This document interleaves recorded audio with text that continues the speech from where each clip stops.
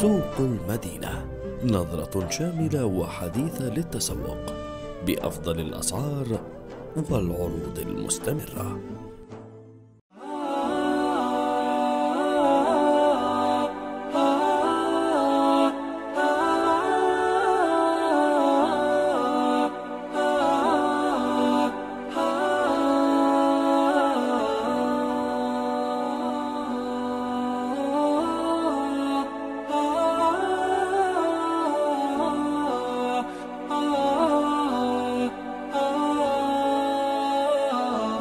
السلام عليكم ورحمة الله وبركاته. أرحب بكم أجمل ترحيب مرة أخرى مع حلقة جديدة من برنامجكم برنامج آية وهداية برنامج المسابقات الديني الذي يأتيكم طيلة شهر رمضان المبارك برعاية سوق ومطعم المدينة. يوم أمس كانت الآية التي اخترناها من الجزء السابع عشر فكانت تتحدث عن لن ينال الله لحومها ولا دماؤها ولكن يناله التقوى منكم.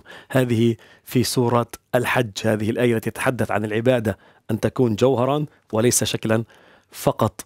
آه، فخلونا نشوف مين الفائز معنا لليوم بهذه المسابقة.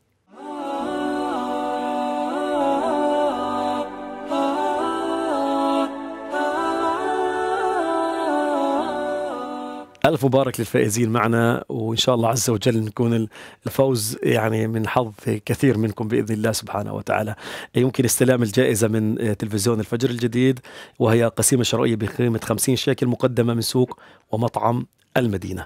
إحنا اليوم 18 رمضان آه، واليوم راح يكون إذا آيتنا اللي راح نختارها هي من الجزء الثامن عشر من كتاب الله سبحانه وتعالى. اللي بيقرأ القرآن كل يوم جزء يمكن أن يجد هذه الآية في الجزء 18 خلينا نقرأ بتدبر ونحاول نستخرج الآية ونرسلها لحتى نكون أحد الفائزين. اليوم رح نحكي عن آية تتحدث عن موضوع الإشاعة. وآية وصفت الذين يتكلمون بالإشاعات بوصف غريب عجيب جدا جدا. هذه الآية حقيقة تعالج ظاهرة خطيرة وهي ظاهرة الإشاعة لأنه كثير من الناس للأسف الشديد ينقلون الأقوال والأخبار دون تثبت.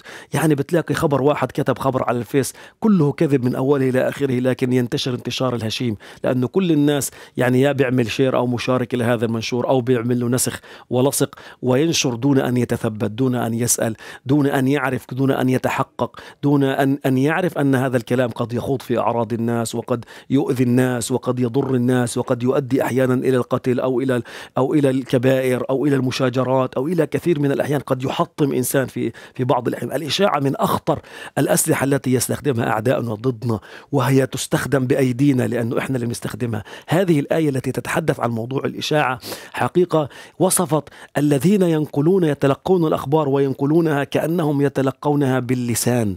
يعني هي تجاوت الأصل فينا في الإنسان أن, يت... أن يأخذ الكلام بأذنه يسمعه ثم يخرجه بلسانه. ه... هذه الآية وصفت الذين ينقلون الإشاعة كأنه يتلقى الكلام بلسانه ويخرج. هذا كناية على أنه لا يعمل عقله في ذلك. أنا أقول بكلام آه، كفى بالمرء إثما أن يحدث أو كذبا أن يحدث بكل ما سمع. لذلك خلونا إحنا في حياتنا لا نكون لنعامل الإشاعة أن تقف عندنا وأن لا نتعامل معها كأننا أبواق. إنما تصدر كل ما تسمع، هذا لا ينبغي ولا يجوز وإنما يجب علينا التثبت ثم يجب أن لا نخوض في أعراض الناس، فلنتق الله. هذه الآية كما قلت ابحثوا عنها التي تتحدث عن الذين يتلقون الأخبار بألسنتهم ثم ينشرونها دون تثبت في محاربة الإشاعة.